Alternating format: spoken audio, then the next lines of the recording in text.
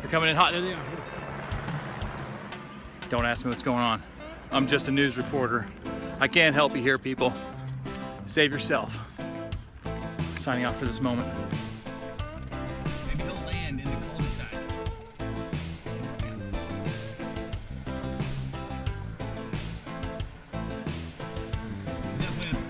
Stu Bowerstocks again reporting live. We're on scene.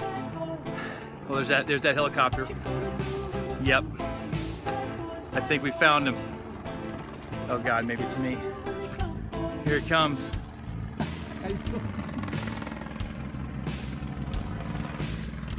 Maybe he'll land in the cul-de-sac.